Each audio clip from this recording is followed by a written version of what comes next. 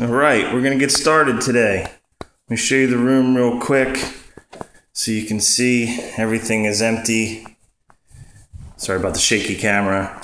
But basically the room's gonna go from this back wall here and it's gonna come all the way to this line that I've drawn here. And this is the space of where everything was before. So what we're gonna work on today is I'm gonna, let me see, back up here. I'm going to pull this wall out here to open this up to into here, which was originally, I believe, a full room. And then I'm going to also, if you come back here, there's a wall here that goes through. Might be hard to see. I'm going to open that up. So that's the plan for today. And uh, we'll see how far we get. All right, here we go. Okay, day two. Yesterday I was able to take this wall out here. There's my pile of trash, which opened this up nicely. And then this is under the stairs and which will, will be now the hallway back to this area. And over here is where we're gonna, right here along this, we're gonna build the wall to enclose this area, which will be the studio.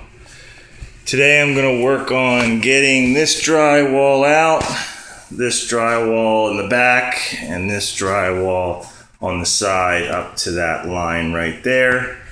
Also may work on removing this board from the ceiling uh, over here as well because I think we're going to put drywall in instead of this board when we finish this area of the room.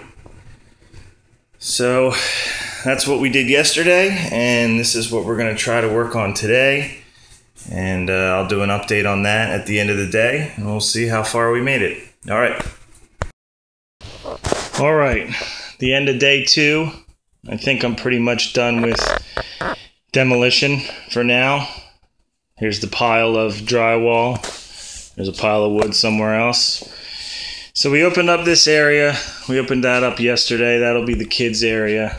Uh, over here, we opened up this. This will, this whole section will be one wall shortly.